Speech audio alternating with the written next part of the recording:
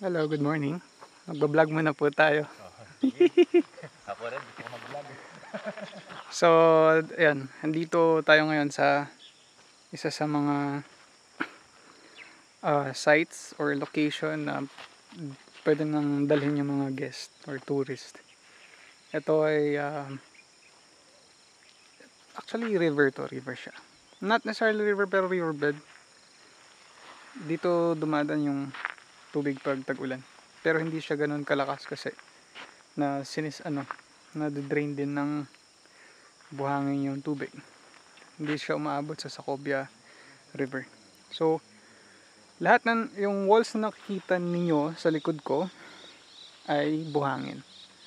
So those are yung uh, those are the sand or the lahar which is you know um tina, tinambak ng pinatubo during the eruption. So dati patag yan. So simula dun sa taas na nakikita nyo, patag siya.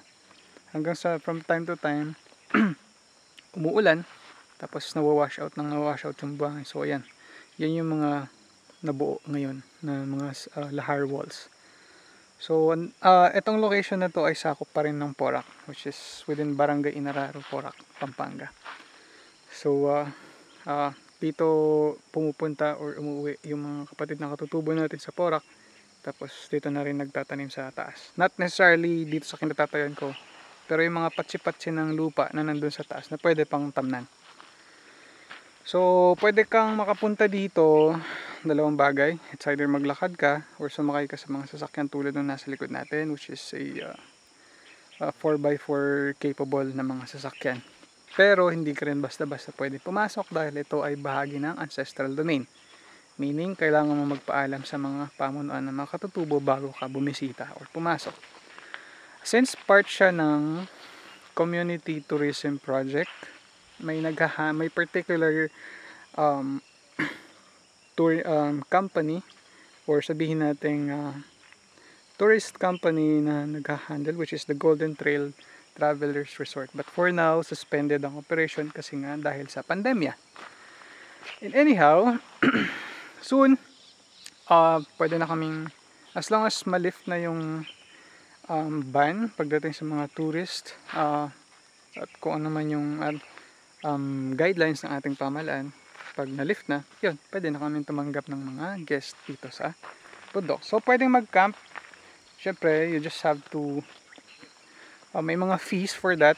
And, uh, um, well, I can't discuss the details kasi hindi ko pa masyadong kabisado lahat. But you may search uh, Golden Trail Travelers Resort online. So, Facebook page meron naman. So, yan. I just, uh, ikutin lang natin ng konti. Medyo blur lang sa likod kasi medyo mataas na yung araw. But so far, ayun yung lugar. It's a Lahar area. So, yun. So, yeah, next time, hope you guys, I hope to see you guys visit my place. And uh, don't, uh, the only thing that you have to, you know, have is, you know, your, uh, dapat alam mo na alam mo mag-enjoy kung saan yung mga lugar na pinupuntahan. Bawal maarte, of course. And kailangan um, you should respect the people as well and the environment. Bawal magkalat. So yun lang muna guys for today. I hope to see you guys uh, yan, sa iba pang mga araw. Uh, I mean, I hope to see you guys one of these days na bumisita sa aming lugar. So yun lang. Thank you.